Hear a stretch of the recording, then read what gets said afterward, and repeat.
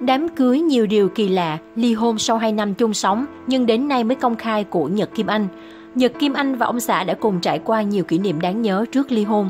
Sau nhiều đồn đoán, chiều 1 tháng 6, Nhật Kim Anh xác nhận thông tin đã ly hôn với chồng sau 5 năm chung sống. Nhật Kim Anh từ chối chia sẻ thêm thông tin vì lý do sức khỏe đang không tốt. Cô chỉ tiết lộ cuộc sống hôn nhân từ lâu đã không hạnh phúc, nhưng vì không muốn ảnh hưởng đến con trai, nên nữ ca sĩ đã im lặng trong suốt thời gian qua. Đến thời điểm hiện tại, mọi thứ đã quá sức đối với cô. Trước khi tan vỡ, cặp đôi đã từng trải qua một đám cưới đầy cảm xúc, những khoảng thời gian rất hạnh phúc. Cũng có lúc đối mặt với tin đồn cơm không lành canh không ngọt. Việc đã bên nhau lâu có con chung khiến người hâm mộ tiếc nuối khi hay tin đường ai nấy bước. Cô dâu ngất xỉu liên tục mất điện thoại trong đám cưới. Còn nhớ năm 2014, Nhật Kim Anh và ông xã Vũ Lộc tổ chức đám cưới.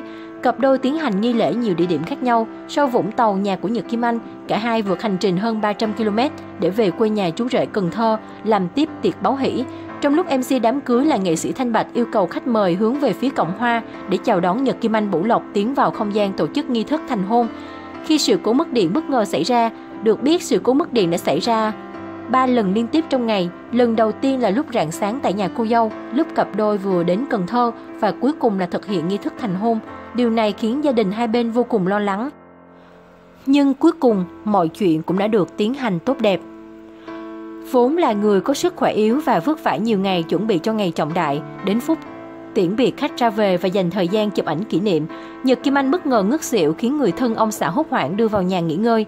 Nguyên nhân là vì nữ ca sĩ không lường trước được chuyện phải xuất hiện và tiếp đón 1.000 khách, trong đó có cả khách mời phát sinh và nhiều người dân hiếu kỳ tất bật chạy ngược chạy xuôi để thay liên tục bốn chiếc váy cồng kềnh nên bị kiệt sức.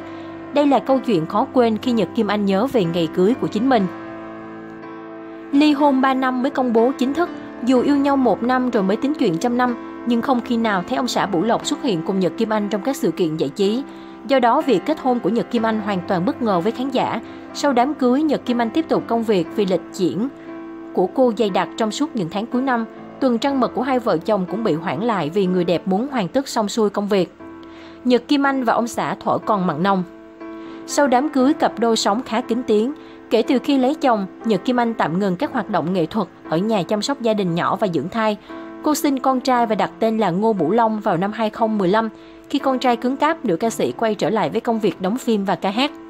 Đến cuối năm 2017, Nhật Kim Anh liên tiếp chia sẻ trên trang cá nhân trạng thái buồn khiến không ít người cho rằng tình cảm vợ chồng cô rạn nứt. Đặc biệt, ngay khi cô bị ốm nặng, người hâm mộ cũng không thấy bóng dáng của chồng bên cạnh.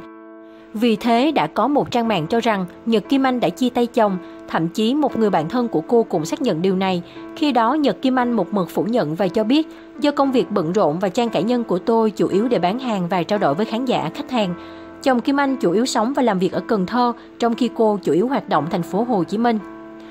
Đây chính xác là thời điểm cặp đôi đã ly hôn nhưng không công khai rộng rãi với truyền thông.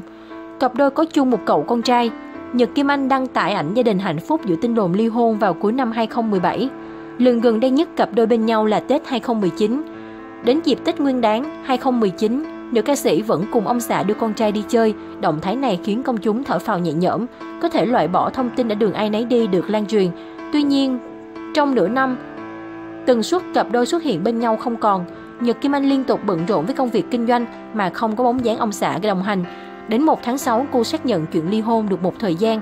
Nữ ca sĩ cho biết thêm, việc gặp con khá khó khăn, rất có thể cô phải giành quyền nuôi con lại từ tay chồng.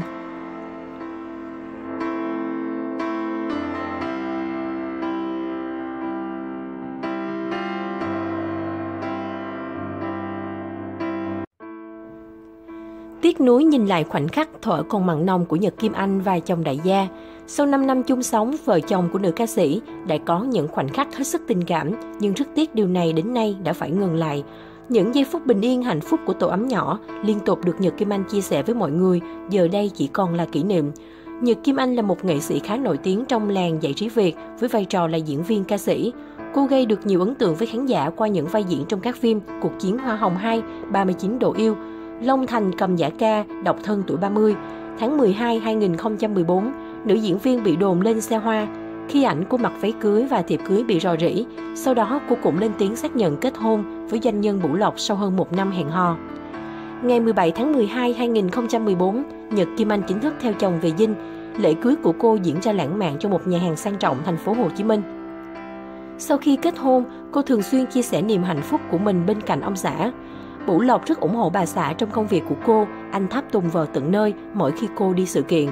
Hạnh phúc của tổ ấm nhỏ này tăng lên từ lúc cậu con trai đầu lòng ra đời. Thời gian đầu vợ chồng nữ ca sĩ giấu kín ảnh của con, đến khi cậu bé cứng cáp hơn thì bố mẹ mới giới thiệu với khán giả. Rất nhiều khoảnh khắc hạnh phúc, gia đình được Nhật Kim Anh và ông xã ghi lại để làm kỷ niệm. Người đẹp thường được mọi người khen là may mắn khi có ông xã ủng hộ vợ nhiệt tình và không ngại ngùng khi lên sóng truyền hình vì cô. Thậm chí anh còn chịu giả gái để đóng MV cho bà xã. Mặc dù cả hai đều rất bận rộn với những lịch trình làm việc riêng, nhưng vợ chồng vẫn dành nhiều thời gian bên nhau, hâm nóng tình cảm, khiến nhiều người hâm mộ dành sự ngưỡng mộ đặc biệt. Nhật Kim Anh cũng nhiều lần chia sẻ với báo giới rằng cô được gia đình chồng giúp đỡ rất nhiều và coi như con ruột trong suốt thời gian làm dâu. Vì vậy cô mới có thể toàn tâm toàn ý hoạt động nghệ thuật sau sinh con. Sau thời gian bận rộn công việc, Nhật Kim Anh và ông xã đều dành thời gian để ăn uống cùng nhau và bù đắp tình cảm cho cậu con trai nhỏ. Tuy nhiên, hai ngày qua khán giả đã khá tiếc nuối khi chính cô xác nhận vợ chồng mình đã tan vỡ một thời gian. Giọng ca lâu đài cát không muốn công khai với mọi người vì sợ ảnh hưởng đến nhóc tỳ đang còn nhỏ. Hiện tại sức khỏe của nữ ca sĩ không ổn định và từ chối chia sẻ với truyền thông về những vấn đề liên quan. Bức ảnh hiếm hoi của cả tổ ấm trong dịp Tết 2019 vừa qua. Thời gian về sau này, Bủ Lộc đã không xuất hiện trên trang cá nhân của vợ nữa. Tưởng chừng Nhật Kim Anh sẽ có được hạnh phúc trong cuộc sống bên chồng, con trai và thành công trong kinh doanh, nhưng nào ngờ cô đang phải đối diện với những mệt mỏi buồn bã vì hôn nhân kết thúc. Trấn Thành Hương Giang lấy Nô Phước Thịnh ra trêu ghẹo Mai Phương Thúy. Trái lại với sự nghiêm túc, Mai Phương Thúy bỗng trở thành nơi mang lại tiếng cười ở người ấy là ai. Tưởng chừng Mai Phương Thúy là một mỹ nhân có dày dạn kinh nghiệm tinh trường, chắc chắn, nhưng nào ngờ cô lại vô cùng trẻ con và có những phát ngôn lầy lộ trên sóng truyền hình.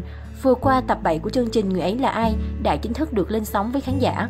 Ngoài MC Trấn Thành Hương Giang thì lần này cố vấn chính là Hoa hậu Mai Phương Thúy Bảo Thi và diễn viên Huy Khánh. Nhiều người thắc mắc liệu với hai mỹ nhân hiếm khi nào chia sẻ về chuyện tình cảm thì sẽ đưa ra lời khuyên như thế nào cho nữ chính. Nữ chính trong tập này khá đặc biệt, cô tên Linh Nga và đang là giáo viên mầm non. Đã từng 9 năm cô độc thân và chưa mở lòng ra để yêu một ai. Đến chương trình, nữ chính còn đưa thêm cả con gái nuôi của mình đi cùng. Xoay quanh tập này, Mai Phương Thúy như một gương mặt mang lại tiếng cười cho mọi người. Trấn Thành Hương Giang đồng lòng trêu ghẹo Hoa hậu khi cô tự nhận mình còn thảm hơn nữ chính trong chuyện tình cảm. Thậm chí người đẹp luôn có những phát ngôn từ trên trời rơi xuống, khiến nam MC phải xin lỗi cả trường quay. Ngoài ra, dàn cố vấn luôn tranh thủ nhường sân cho Mai Phương Thúy để cô có thể giải bày những câu ngơ ngác của mình. Trong tập này, Hương Giang còn đá xoáy Mai Phương Thúy. Chị thích yêu ca sĩ chứ không phải diễn viên nhé. Song cô và Trấn Thành cùng hát vài câu trong ca khúc Thương em là điều anh không thể ngờ của Noo Phước Thịnh, khiến Hoa hậu Việt Nam 2006 bối rối. Khi nhận thấy mình mãi không trưởng thành, không có suy luận chắc chắn và bị chọc ghẹo quá nhiều, Hoa hậu còn hù dọa với Trấn Thành, em về em mất chồng em. Phát ngôn này khiến nhiều người tò mò ai đang là người đàn ông của cô. Tiếp đó, nữ chính cũng khá may mắn khi chọn được người đàn ông cho mình, là người cuối cùng xuất hiện, chí tính cũng đã 6 năm không yêu ai. Từ sau cánh gà mình đã đồng cảm với chia sẻ đã lâu không yêu ai của Nga, mình hiểu được cảm giác đó, chí tính chia sẻ. Trong khi đó Linh Nga không giấu nổi niềm vui, lúc này em vô cùng hạnh phúc, em nghĩ mình không có kinh nghiệm, nhưng từ lúc anh ấy bước ra em đã thấy có tình cảm rồi. Ngoài cái kết đẹp của nữ chính, câu chuyện về nghệ thuật mà Trấn Thành khẳng định, thì khán giả đã cười không ngớt trước những câu nói thiếu muối của Mai Phương Thúy trong tập vừa qua.